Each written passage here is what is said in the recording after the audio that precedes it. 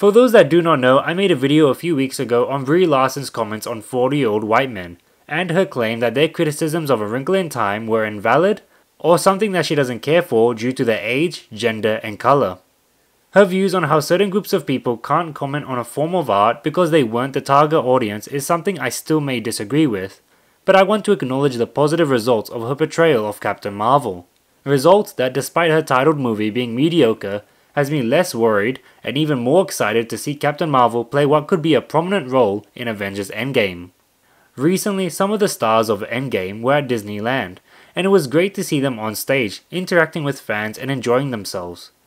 While all the photos and videos caught my attention, there was one photo in particular that made me respond in a way I did not expect. That being Brie Larson surrounded by kids dressed as Captain Marvel. I considered something Brie had said in an autocomplete interview for Wired. There's a lot of different versions of Captain Marvel. Captain Marvel was actually in DC Comics. One point was a dude, then became a woman, was wearing a leotard, had a sash, changed her costume, also had a mask, don't have the mask anymore. Helmet, no helmet, long hair, short hair, mohawk. A lot of different illustrators made by women now. Super badass. But, you know, it's really up to you to decide who is your Captain Marvel, but I know who mine is. I thoroughly enjoy how she says it's up to you to decide who your Captain Marvel is. She says that there are many incarnations of the character being male, female, even from DC. This surprised me considering how hard Captain Marvel's marketing pushed for its target audience being young women, and Brie Larson's comments which I referred to earlier. Now, I know some may question why I didn't feel this way when seeing pictures from the Captain Marvel premiere, which also had young women dressed as the titled character, and clearly inspired by Brie Larson.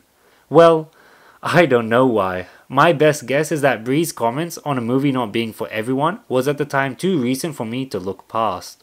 I still believe that anyone can criticize a movie. Heck, if what Brie said was true or if you agree with it, then I can't criticize many movies which I personally love, as their target audiences were either children or women. I digress though. Seeing the smiles and joy on the children's faces from meeting what could now be their favorite superhero makes me appreciate Brie Larson a little more. But to Brie Larson I say, until you publicly acknowledge how anybody can criticize a film no matter who starred in it, made it, or if it was made with a specific audience in mind, you won't have my full respect. But I can appreciate the positive results of the effect you have on others. I can never get angry or disagree with the idea of a wonderful mind of a child being inspired, thrilled, and nurtured as mine once was. That was a quick video for today, but I just wanted to share my thoughts. If you agree or disagree with me, let me know in the comment section down below. Make sure you subscribe to my channel for more videos every week. I'll catch you all next time.